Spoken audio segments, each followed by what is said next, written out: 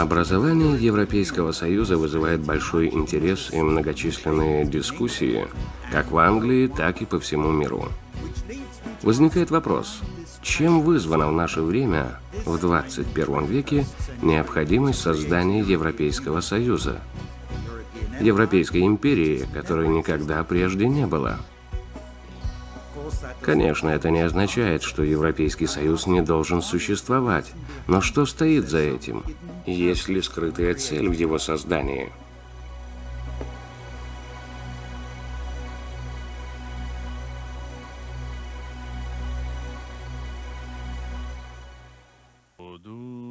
Adonai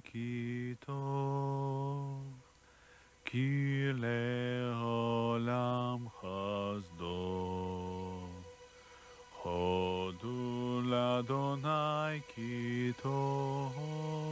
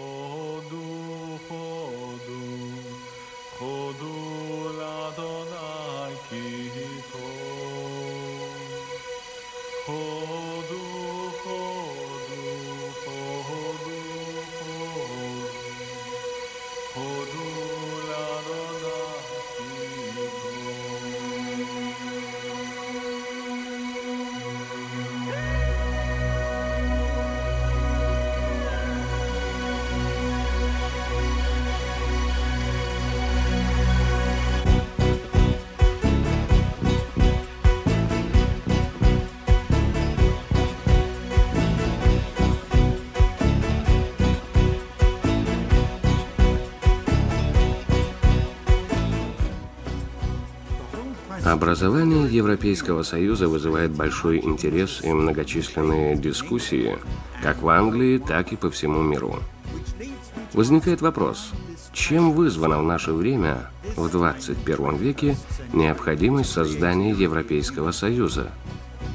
Европейской империи, которой никогда прежде не было. Конечно, это не означает, что Европейский Союз не должен существовать. Но что стоит за этим? Есть ли скрытая цель в его создании?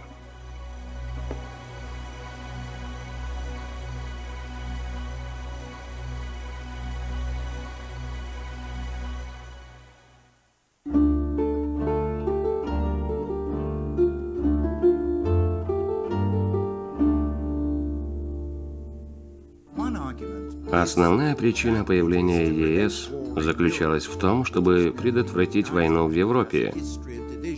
Ведь на протяжении всей истории племена и нация вели захватнические войны с целью перераспределения границ.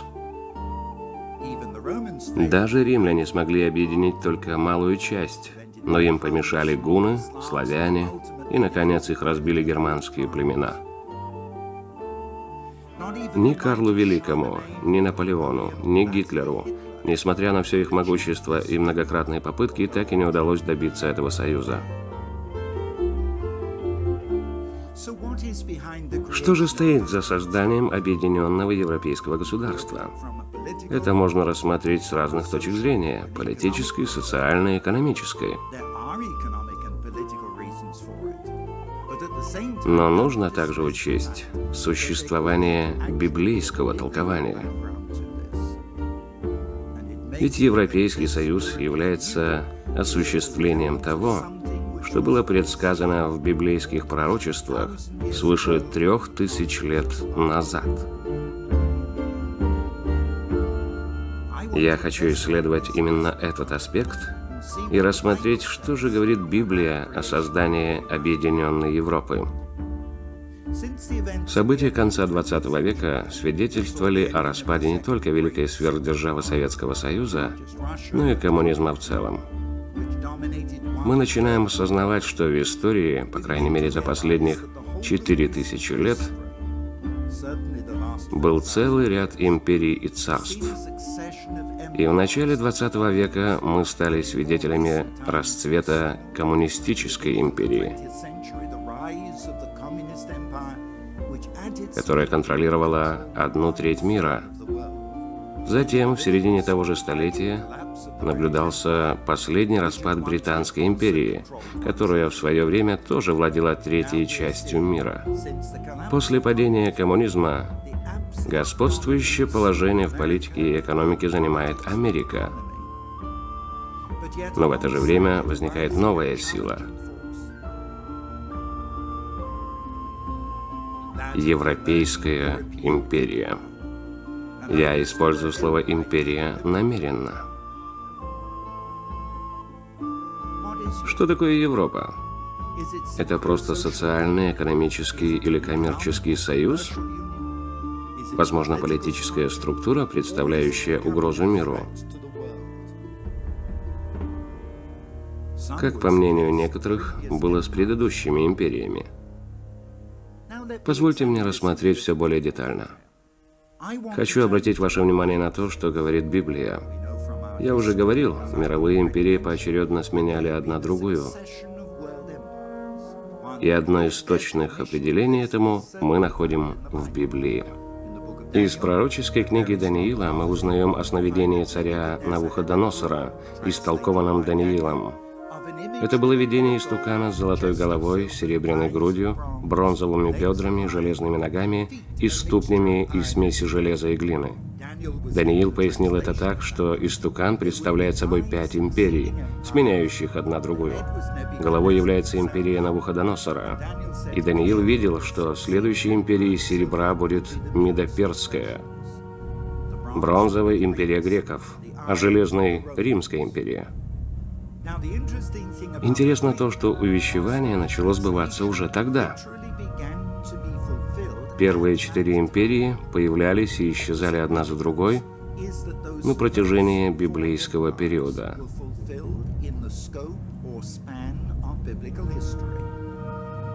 А римская «железные ноги» существовала вплоть до окончательного распада в V веке нашей эры.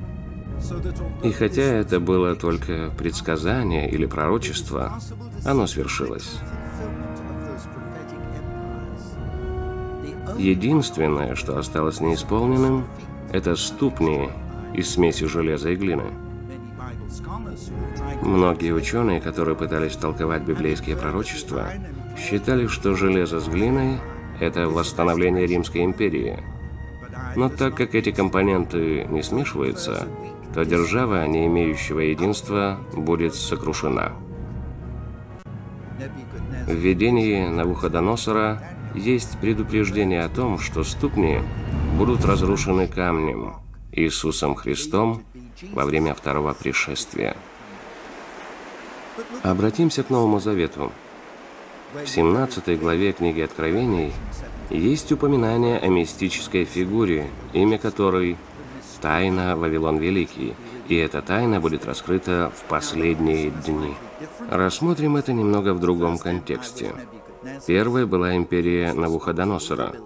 Именно он возвел Вавилон, центральной частью которого являлась Вавилонская башня.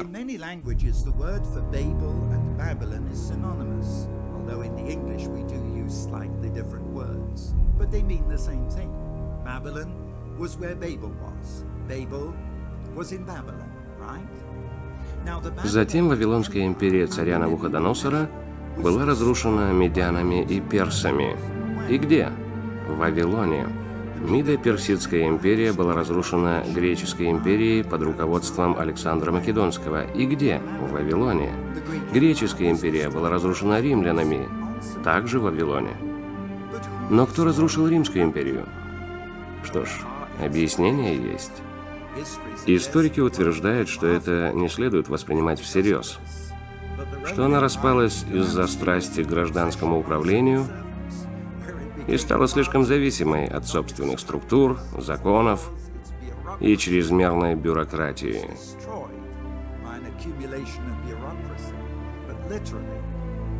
Но физически Римскую империю разрушили германские племена. И не в Вавилоне, а в Европе. Доказательства, которые я приведу, несомненно, подтвердят вам вышесказанное. И это не теоретические рассуждения, а исторические факты.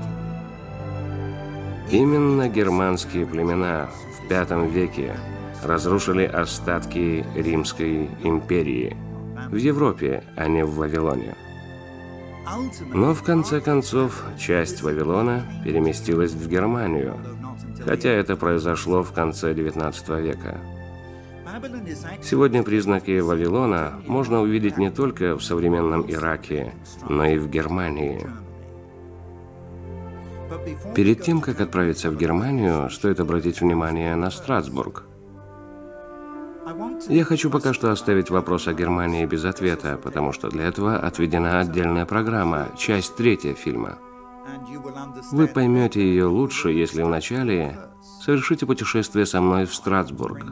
Давайте оставим истории библейские пророчества, вернемся в 21 век и посмотрим на нынешнюю Европу.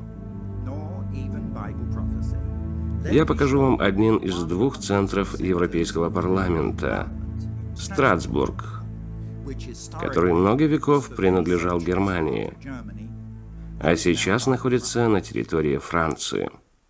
У меня в руках обычная Библия. Моя Библия. Многие считают, что эта книга является историей или пророчеством грядущего.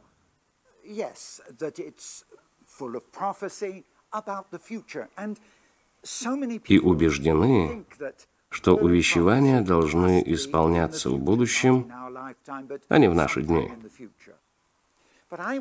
Я хочу доказать, что мы живем в такое время, когда пророчества исполняются буквально на наших глазах.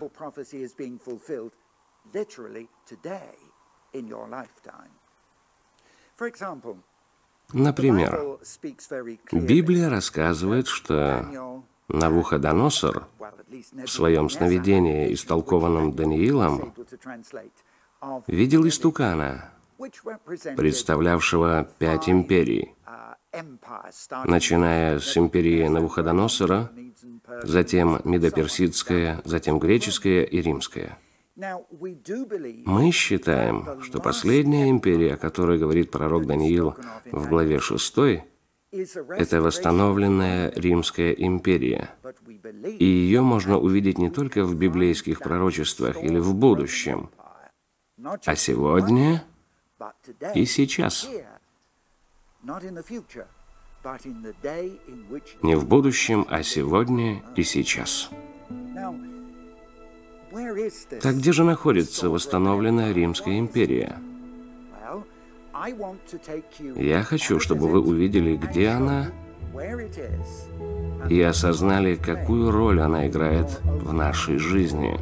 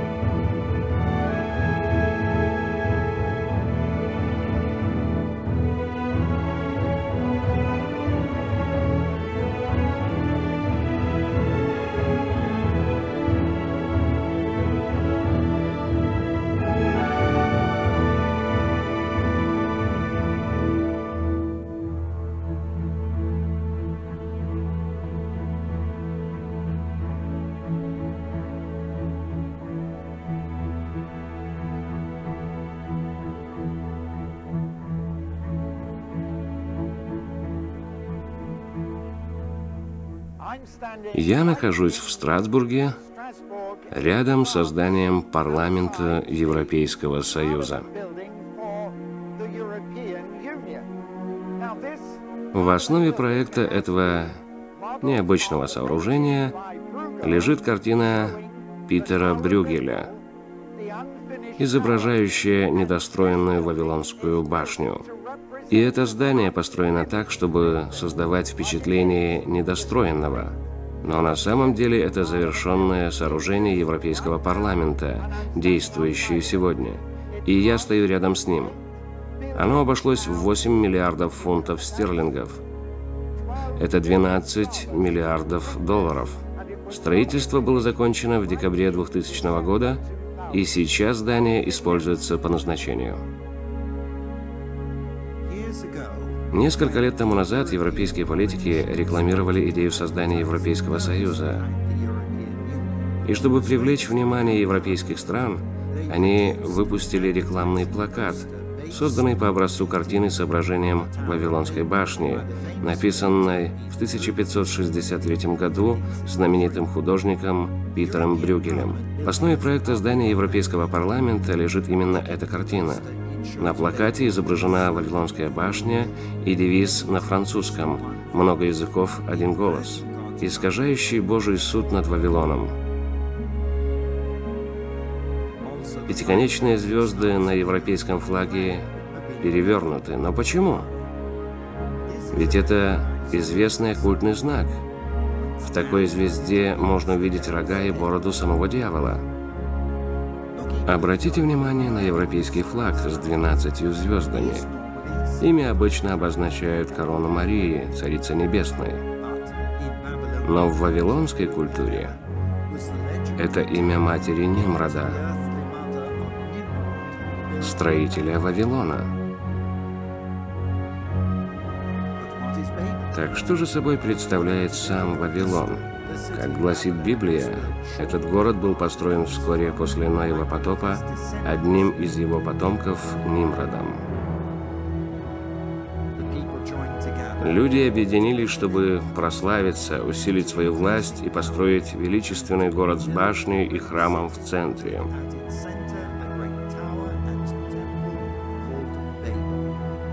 Этот город будет назван Вавилоном. Башня была символом бунта против Бога. Она должна была достичь неба и доказать, что Бога нет. А если же он и существует, то башня будет довольно высокой, чтобы помочь избежать второго потопа, наказания за грехи. Но Бог разрушил Вавилонскую башню, и город стал известен из-за бунта против Бога. В 586 году до нашей эры даже дети Авраама, евреи, были изгнаны в Вавилон за грехи.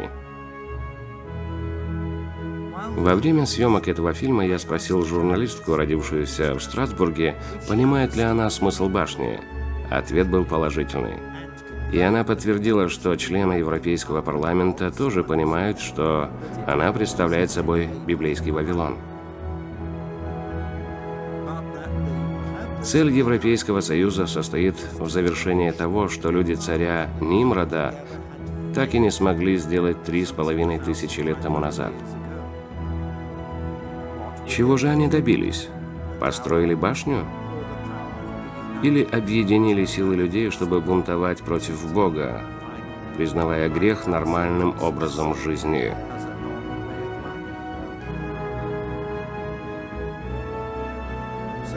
Здание Европейского парламента является символом человеческой гордости и бунта против Бога, местом, обреченным на разрушение Богом за грехи. Современная башня, как символ объединения людей в 21 веке для провозглашения «Бог мертв, давайте создадим своих богов». Видение далекого будущего Даниила, явившееся также и в Вавилоне, предсказывало финал возрождения Римской империи, которая будет разрушена Богом. Я хочу показать вам образец строительных лесов. Эти кольца были запланированы как имитация недостроенного здания. Но на самом деле оно завершено и используется по назначению. Это была попытка показать незавершенность Вавилонской башни. Но это не Вавилон, а Страсбург. Часть Европейского Союза.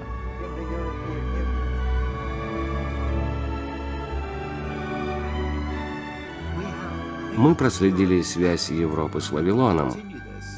И еще вернемся к этому городу в последней части фильма.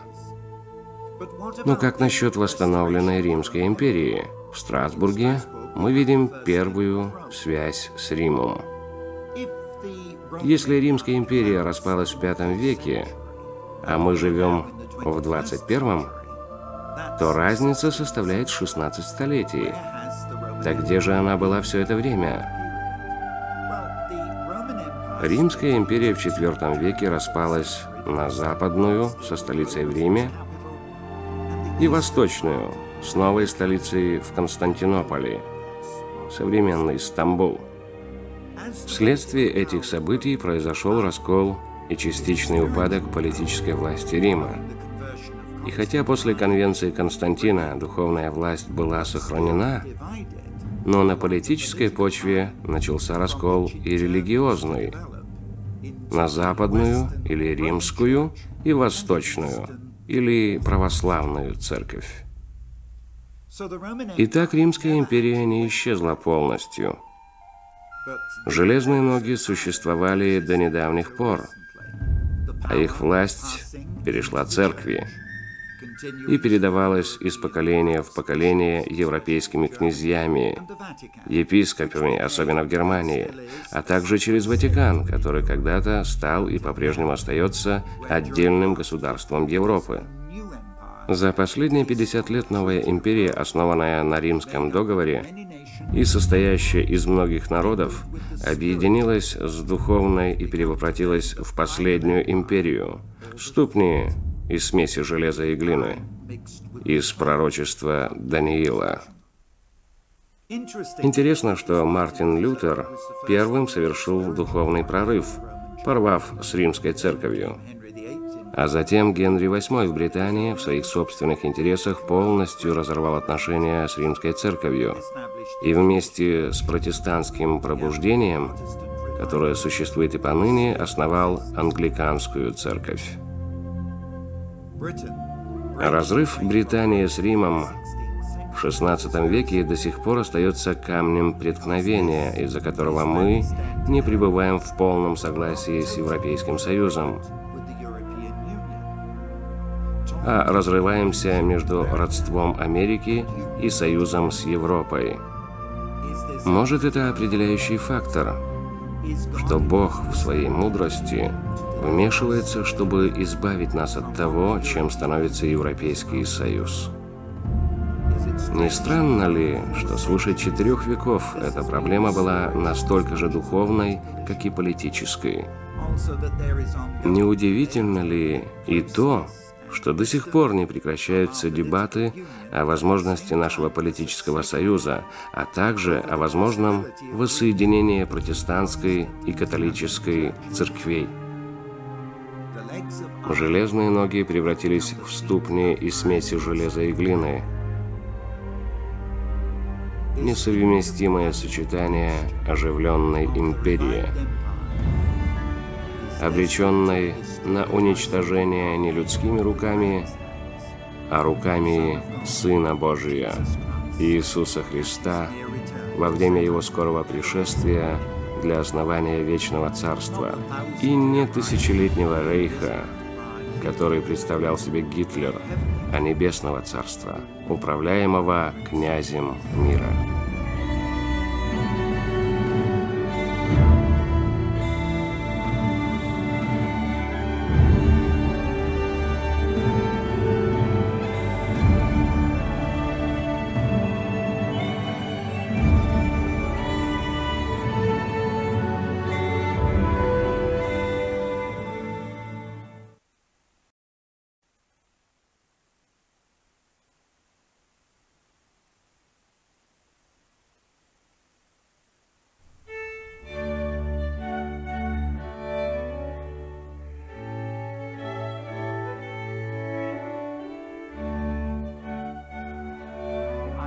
Показал восстановленную Римскую империю с ее центром в Страсбурге. Предлагаю вам посмотреть вторую часть, где расскажу о книге Откровений. Мы отправимся в Брюссель, где вы увидите женщину-блудницу и зверя, о которых рассказывает Откровение.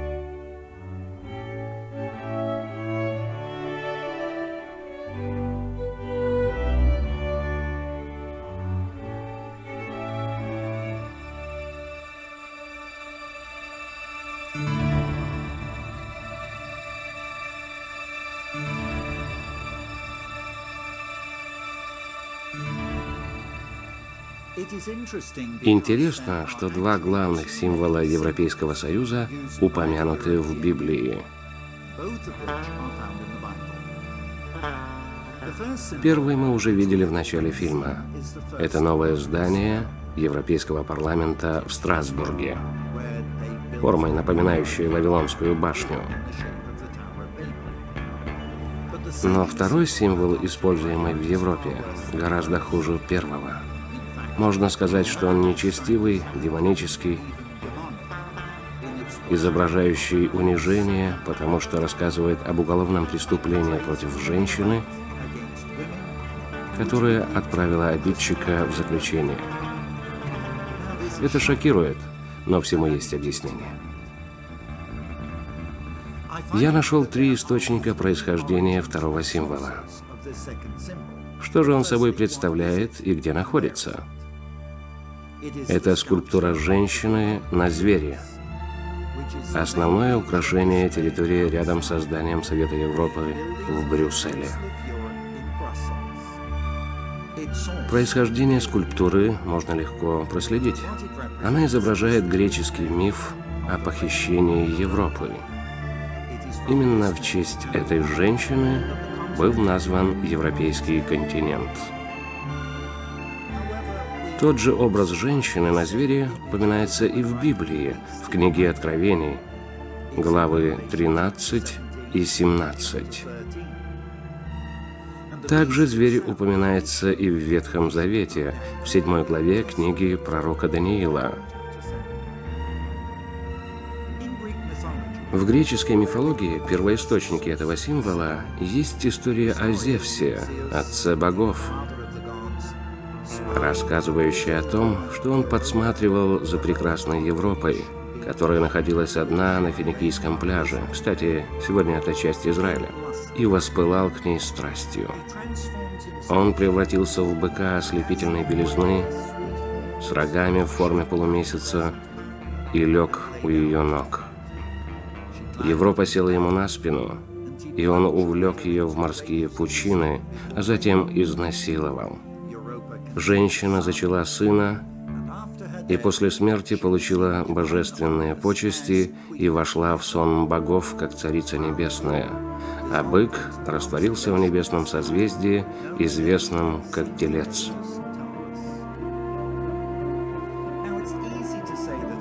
Легко сказать, что я ошибаюсь, но там же, в Брюсселе, всего в одном километре от Европейского парламента, находится торговый центр. И его центральное украшение – та же женщина на звере. Кроме того, Многие магазины в этом торговом центре называются Юпитер. Это римское имя отца богов. В греческой мифологии Зевс. В обоих парламентах Европейского Союза, в Брюсселе и Страсбурге, находятся картины с изображением женщины на звере.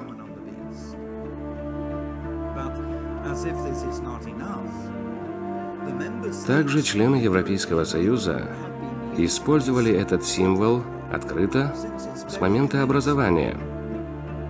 И все знают, что он собой представляет. Например, образ женщины на звере появился в 1948 году на немецкой банкноте достоинством в 5 марок. Картина с этим образом была нарисована в 1979 году на Берлинской стене. А в 1984 году она появилась на английской марке, посвященной вторым европейским парламентским выборам. В 1992 году появилась на немецкой монете EQ, предшественнице евро. Эта картина также изображена в зале аэропорта в Брюсселе – Самая выразительная и недвусмысленная картина появилась на немецкой телефонной карточке, предназначенной для общественного пользования. И вот теперь вновь эта женщина на новой евровалюте. Мы видим ее и на обратной стороне греческой монеты достоинством в 2 евро. Возникает вопрос, что же этим пытаются сказать сторонники Европейского Союза? Предполагают ли они, что Европу сегодня насилуют? И если да, то каким образом? Политически, финансово или духовно? И кто это делает? Я также ссылался на Библию, где в книге Откровений, глава 17, эта женщина представлена как блудница, сидящая на звере, имеющая семь голов и десять рогов. Я объясню это позже.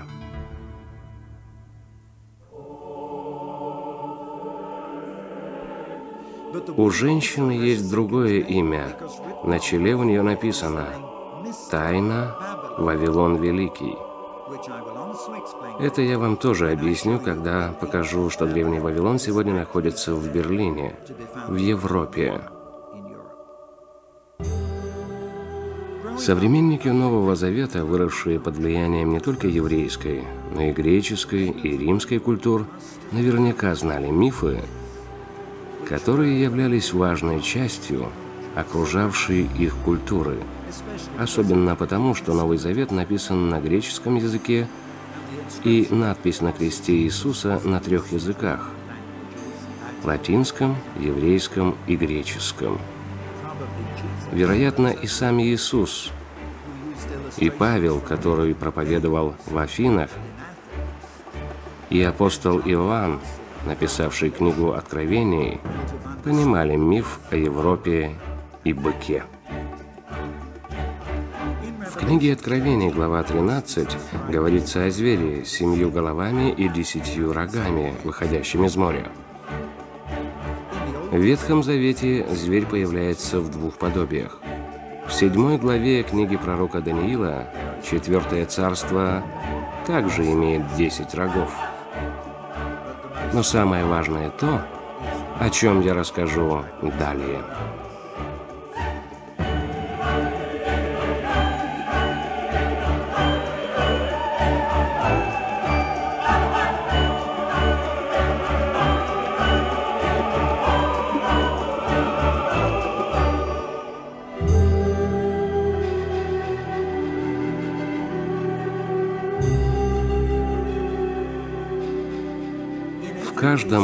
Рассматриваемом случае мы видим, что эта женщина, Европа, изображается, сидя на звере.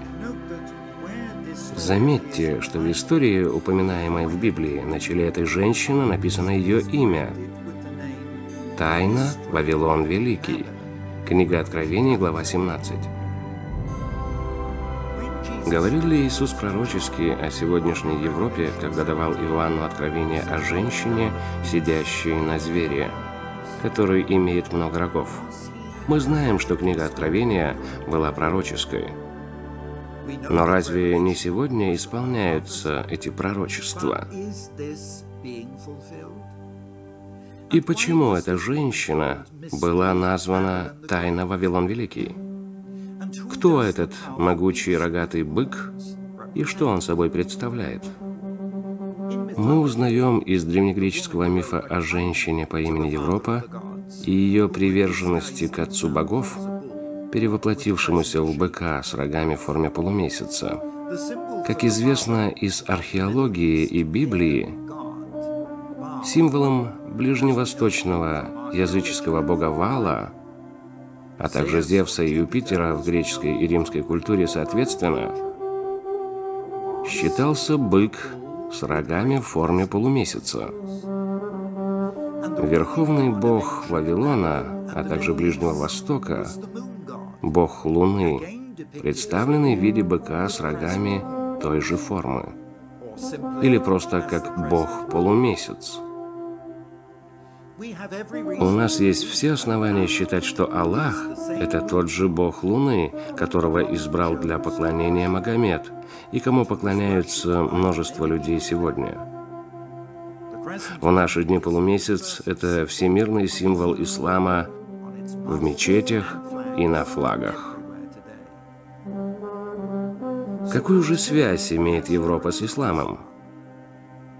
В истории отмечается, что ислам со времен своего основания боролся против нее. Вначале произошло исламское вторжение через Турцию, Балканы, Испанию и Францию, охватившее войной всю Европу. Затем последовал ответный удар европейских крестоносцев. Войска вторглись в библейскую землю Израиля с целью отобрать у мусульман контроль над землей обетованной. Около ста лет назад на Ближнем Востоке была найдена нефть, превратившая исламские страны в политическом и экономическом плане в самые могущественные и желанные на Земле. Так начался вынужденный союз Европы и Ислама. Во время Первой мировой войны армии европейских стран сражались друг против друга на Ближнем Востоке. В 1917 году, когда французы и британцы освободили Израиль, Иерусалим и прилегающие территории от турецких и немецких оккупантов, британское правительство заключило сделки с евреями и арабами с целью получения максимальной поддержки – в результате чего был заложен фундамент сегодняшних конфликтов. Британия пообещала через лорда Балфора евреям рассмотреть возможность основания в Палестине национального государства для еврейского народа. А затем через британского посланника в Египте признать и поддержать независимость арабов от Османской империи – Вынужденный союз Европы и исламских государств, начавшийся во время Первой мировой войны, перешел в новую стадию во время Второй мировой. 30 ноября 1941 года главный мусульманский муфтий Иерусалима встретился с Гитлером для заключения договора о том, что мусульманские арабы окажут содействие Гитлеру в войне при условии, что после истребления евреев в Европе Гитлер уничтожит евреев и на их национальной территории, в Палестине. Арафат, с которым Европа имеет дело, является внучатым племянником главного муфтия, заключившего сделку с Гитлером. После Второй мировой войны Союз Ислама и Европы продолжился. Произошло мирное вторжение в Европу. Она принимала рабочих мигрантов и беженцев.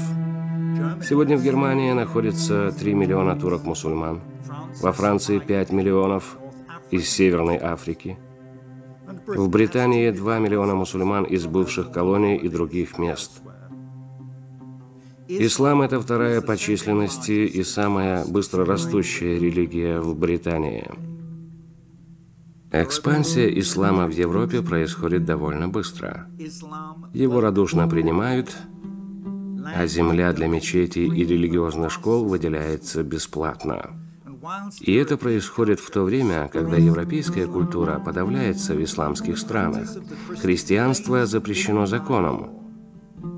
Зато в европейских странах мы боимся оскорбить ислам – а европейские христианские лидеры снисходительно относятся к вавилонскому богу Луны Аллаху, признавая его еще одним равноправным богом. Европа, Ислам и Израиль. Европейский Союз, продолжая традиции Гитлера, является самым мощным политическим и финансовым сторонником палестинского лидера Арафата против евреев. Европа ежемесячно вливает в его террористические организации десятки миллионов долларов из карманов налогоплательщиков. Не является ли Европа женщиной, сидящей на быке, который ее насилует?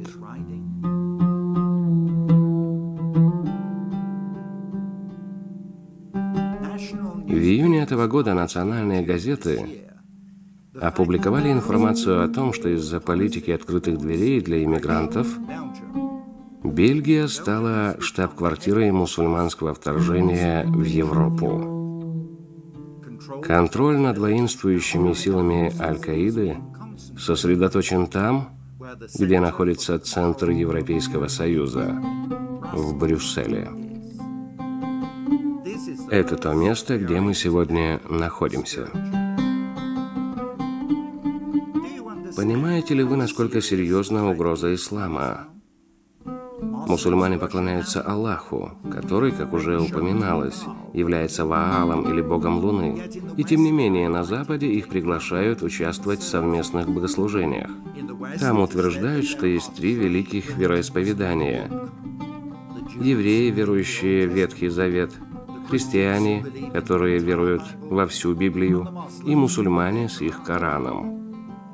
Но Аллах – это совсем не наш Бог –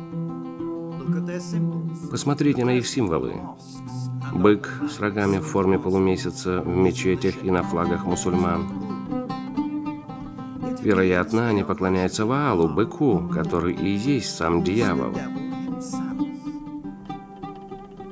Сравните символы в 13 и 17 главах книги Откровений – и вы убедитесь, что зверь, изнасиловавший Европу, характеризуется именно рогами.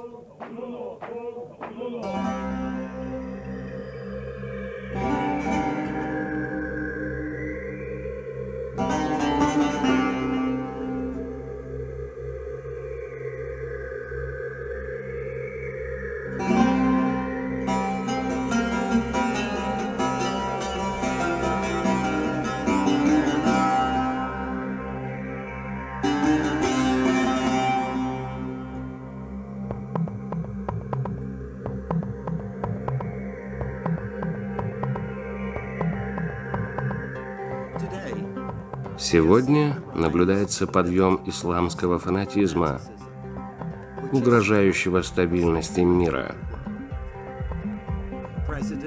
Президент Буш признал это, провозглашая войну с терроризмом. Проблема в Израиле возникла не из-за конфликта насчет территории, а из-за того, что мусульмане намереваются уничтожить Израиль полностью – но вначале им придется иметь дело с Америкой, потому что именно она поддерживает Израиль. Они хотят не только захватить Иерусалим или осуществить так называемую оккупацию территории. Мусульмане не успокоятся, пока не будут изгнаны или уничтожены все евреи земли обетованной. Следующая мишень после Израиля – церковь. Воинствующие мусульмане ненавидят крест и другие христианские символы. По всему миру, где есть эти символы, строятся мечети, чтобы показать превосходство ислама над христианской верой. Это часть великой битвы нашего времени. Все эти события, происходящие в Европе, нужно воспринимать серьезно, и мы должны молиться – Саудовская Аравия строит мечети повсюду, даже там, где мусульман совсем немного. А в самой Саудовской Аравии можно попасть в тюрьму из-за хранения Библии, и церкви возводить там просто невозможно. Когда городские власти Рима разрешили строительство мечети рядом с Ватиканом, саудовская пресса рассмотрела это как покорение Ватикана исламом. На Западе стала практиковаться веротерпимость, а также приглашение ведущих имамов в христианские соборы и церкви. Но мусульманские города Мекка и Медина, а ныне и Храмовая гора в Иерусалиме, закрыты для тех, кто не исповедует ислам.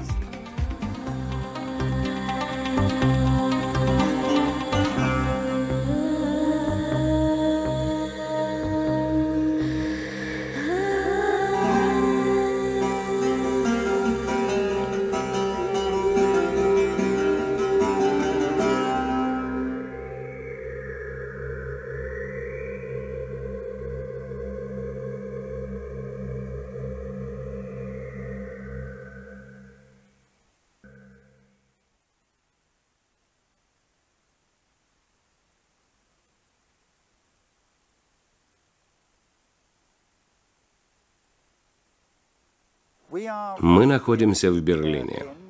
Как вы знаете, Это не только столица Германии, но и один из главных центров Европейского Союза.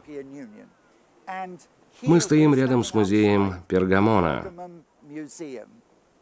Здесь находятся два основных экспоната.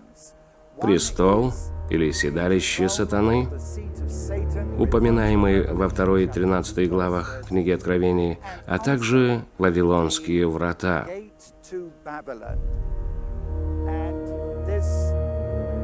Оба эти экспоната не являются копией. Это оригиналы, привезенные из Пергама и Вавилона.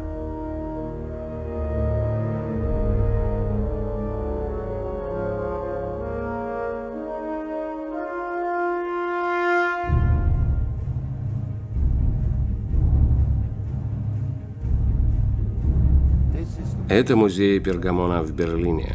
Я покажу вам врата Вавилона, Иштар, Астарты. И мы пройдем по торжественному пути. Это та дорога, по которой Израиль шел в рабство, в Вавилон. Пройдемте со мной по этой главной улице. Передо мной врата Иштар, известные благодаря изображениям 337 богов змей. В еврейской нумерологии эта цифра означает Шеол, ад. Так что вы видите перед собой врата в ад на земле. И это не репродукция, это оригинал, привезенный из Вавилона.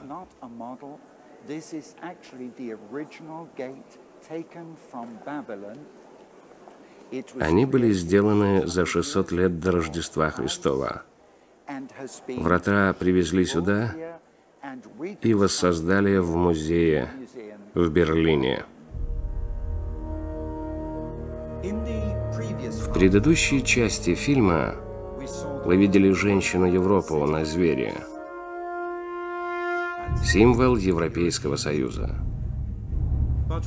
Когда Иисус показал Иоанну женщину, книга Откровений, глава 17, как мы считаем Европу, на ее челе было написано имя «Тайна Вавилон Великий». Я могу объяснить, как она получила это имя и продемонстрировать связь Вавилона с Европой.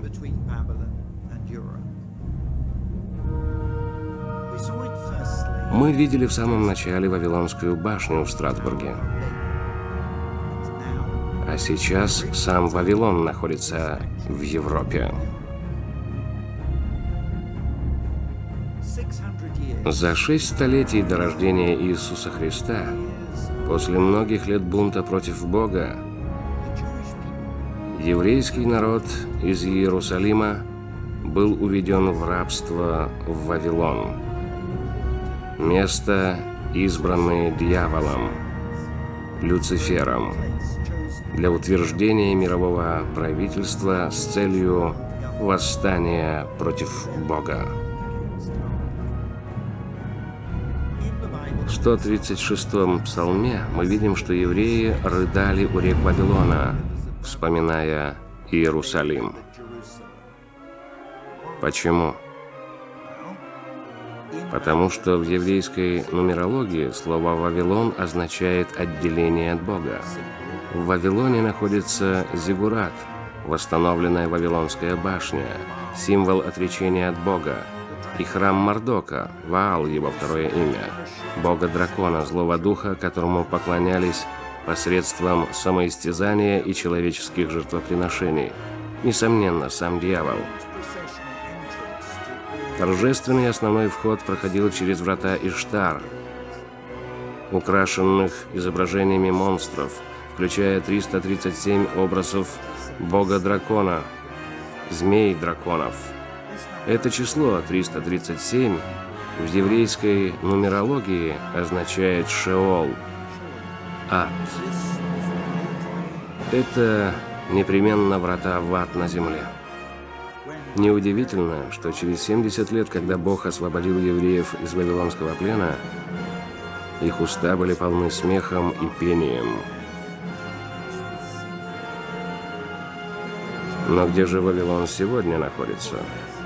Он был воссоздан Саддамом Хусейном возле Багдада в Ираке. Но еще до того, как это произошло, частица Вавилона переместилась в Германию. В истории сказано, что медиане и персы после захвата Вавилона в 539 году до нашей эры унаследовали злой дух города.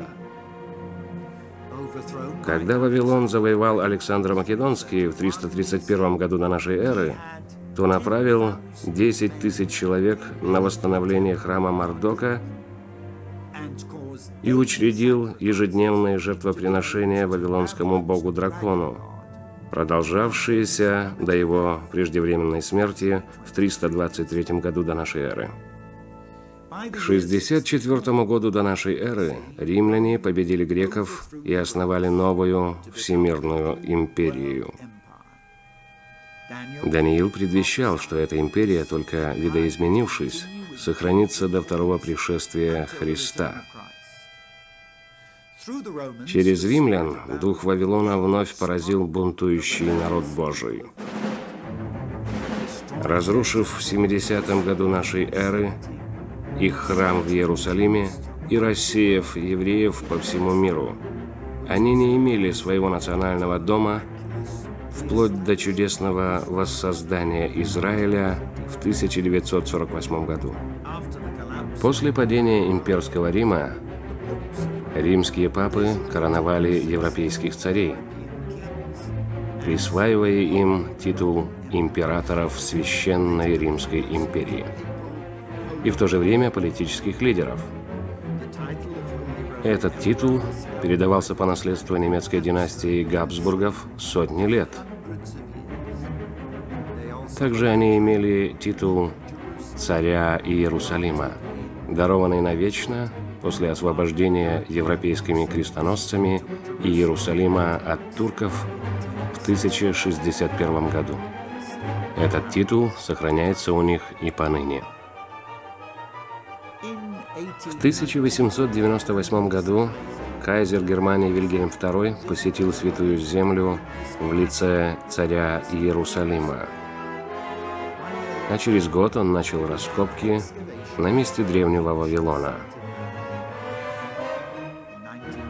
1913 году он привез в Берлин первые фрагменты врат и торжественного пути с изображением 337 змей-драконов, вавилонскими вратами в ад на земле. Год спустя Германия вступила в войну со всем миром. 10 миллионов погибших за 4 года. К 1930 году весь торжественный путь был воссоздан в Берлине. Был ли этот вавилонский змей-дракон самим дьяволом, который через Гитлера объявил окончательное решение еврейского вопроса, в результате которого погибло 6 миллионов евреев в Европе. Это, а также и гитлеровская Вторая мировая война 1939-45 года была настоящим адом на земле.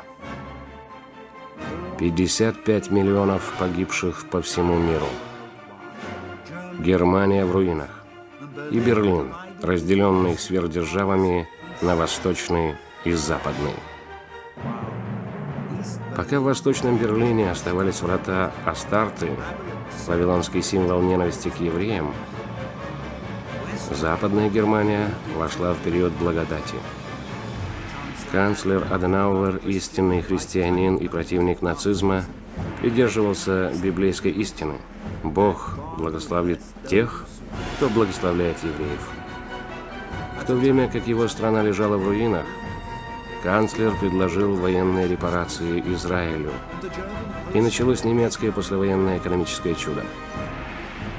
Все изменилось, после того, как Восточная и Западная Германии объединились в 1990 году. Сегодня немецкое экономическое чудо находится в состоянии кризиса. Интересно, почему? Отец царя Навуходоносора заложил в основание первичного Вавилона камень с такой надписью «Во славу богов Набу и Мардока, повелевшим мне заложить фундамент Вавилона в самом сердце подземного мира, чтобы его вершина соперничала с небом». Я склонил голову и сделал, как мне было приказано. Берлин вавилонскими вратами вновь стал столицей.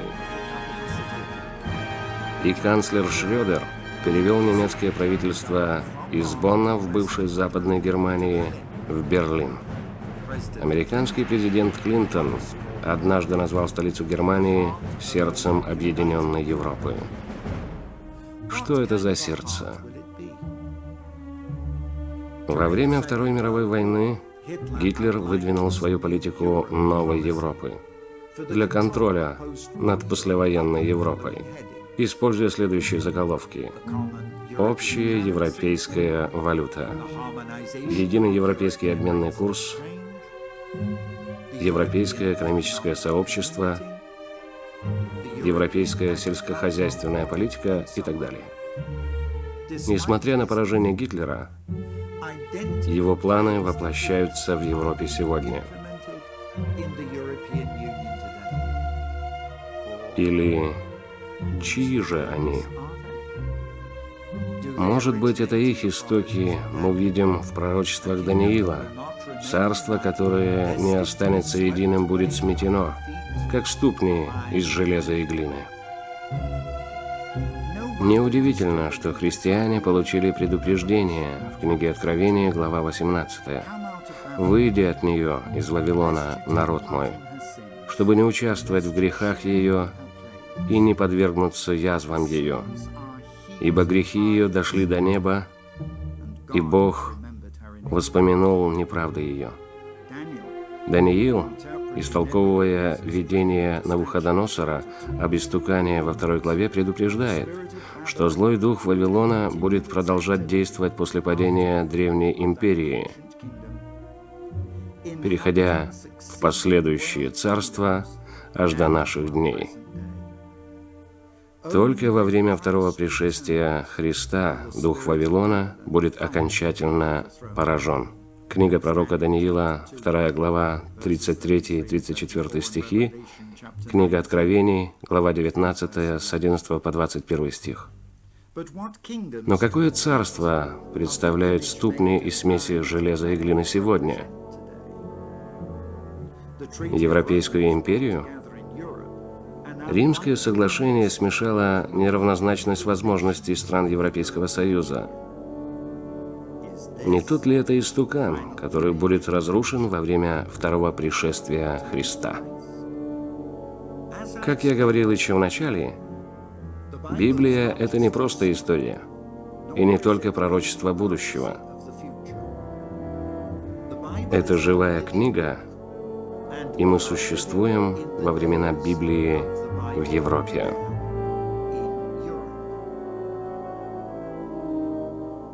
Но тут господствуют демонические, сатанинские силы.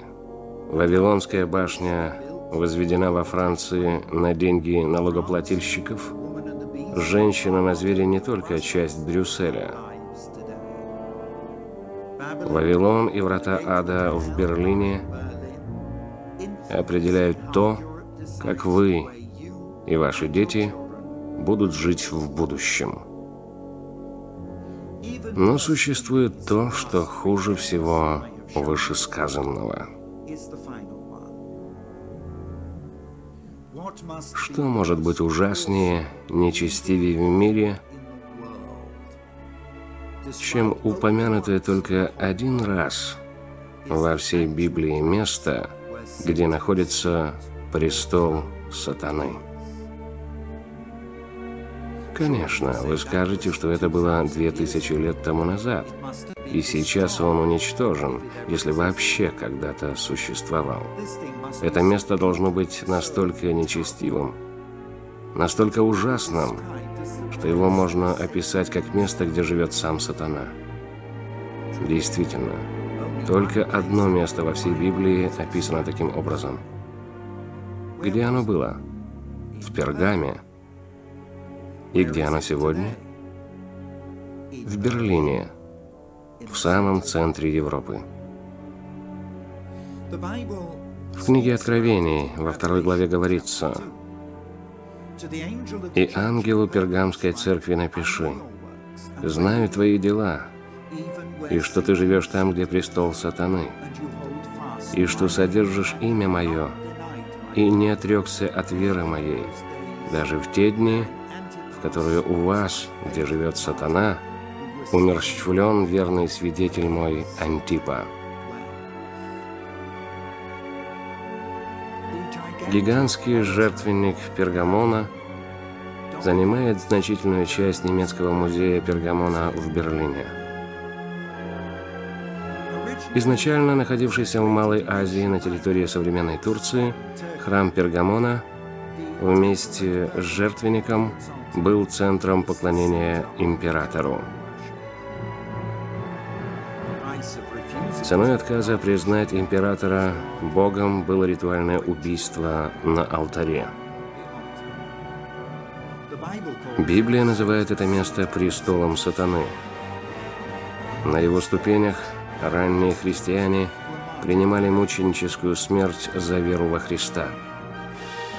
Немецкий археолог Карл Гуман нашел его в практически безупречном состоянии в конце XIX века – и осторожно перевез все до последнего камешка в Берлин. В 1902 году кайзер Вильгельм II отметил возведение этого храма в Берлине как самый выдающийся момент своего правления, устроив грандиозный праздник в честь языческих богов.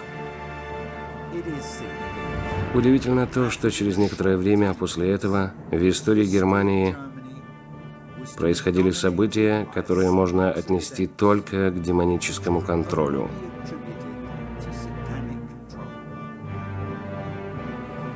Следом за всемирно известным Уэльским пробуждением в 1904 году произошло новое излияние Духа Святого в 1908 году. Почти одновременно в англиканской церкви Монквермат в Англии и на улице Азуза в Лос-Анджелесе, США.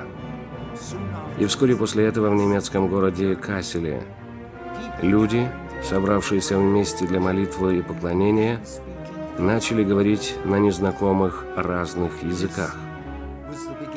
Это было началом всемирного излияния Святого Духа, характеризовавшимся феноменом говорение на языках.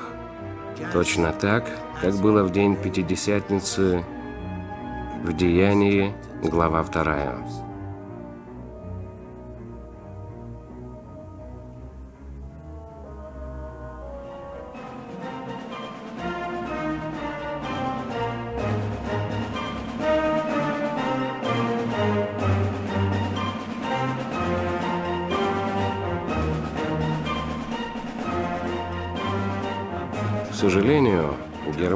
Стала основным противником этого нового движения Божьего.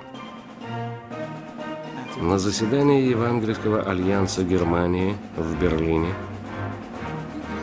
евангельские церкви подписали Берлинскую декларацию, содержащую следующее заключение.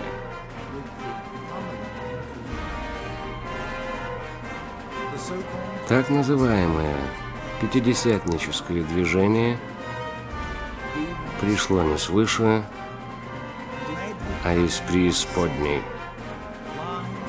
Это дело бесов, ведомых сатаной. Ложь смешана с истиной, чтобы сбить с пути детей Божьих. Не личная верность и посвященность некоторых братьев, ни исцеление, языки и пророчества, сопровождающие это движение, не могут изменить наше убеждение, что оно пришло из преисподней.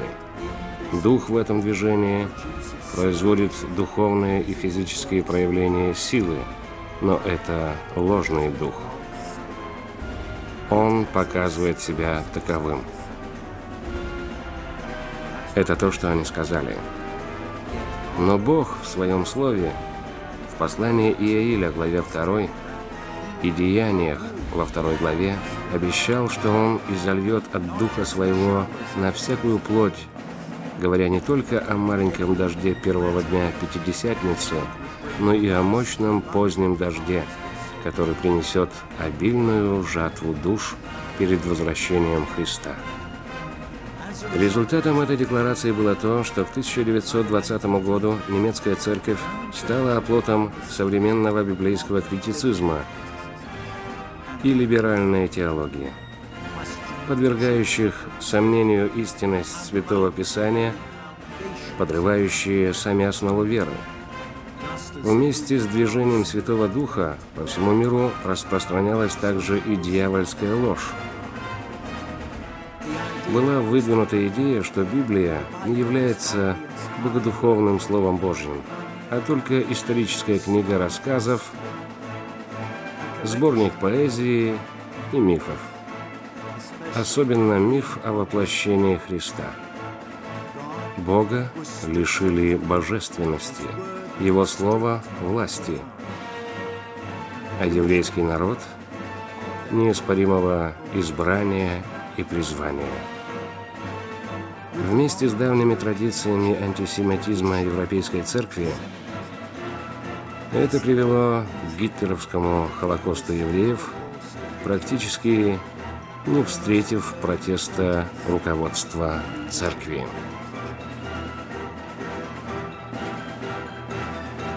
Гитлер был так впечатлен жертвенником Пергамона в Берлине, что в 1934 году он приказал построить его точную копию в Нюрнберге для проведения съездов нацистской партии.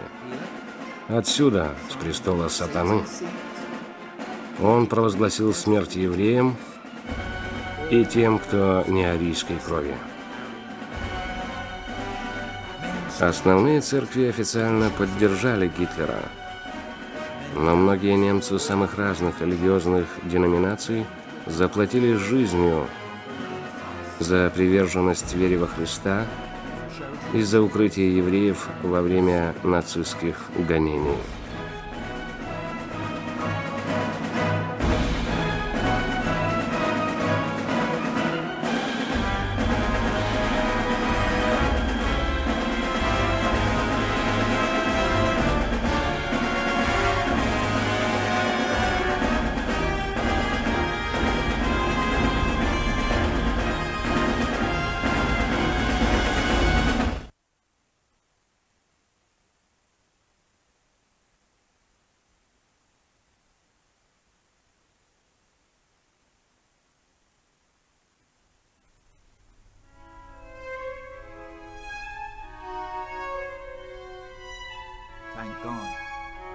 За последние годы многие харизматические церкви каялись за Берлинскую декларацию 1909 года, особенно на марше Иисуса в Берлине в 1994. Тем не менее, в 1996 году Берлинская декларация, духовная Берлинская стена, разделяющая верующих в Германии пала. После многих лет исканий Евангельский альянс Германии вместе с Союзом свободных пятидесятнических церквей подписали совместную декларацию примирения, названную Кассельской, соглашаясь молиться вместе за пробуждение и трудиться в деле евангелизации – Сейчас дверь открыта для нового движения Духа Святого. Но ведь сатана предпринимает свои контрдействия. После разделения Берлина и отделения от престола сатаны в 1945 году Западная Германия была восстановлена и пережила экономический бум, не имеющий аналогов ни в немецкой, ни в европейской истории. После падения Берлинской стены воссоединенный город был отреставрирован и подготовлен, чтобы занять свое место как историческое сердце Германии и стать центром объединенной Европы. В 1999 году здание Рейхстага, ставшее знаменитым благодаря Гитлеру, но разрушенное в 1945 году, сейчас полностью восстановлено и официально открыто. А немецкое правительство завершило переезд из Бонна в Берлин. Впервые за 50 лет правительство Германии вернулось туда, где находится престол сатаны.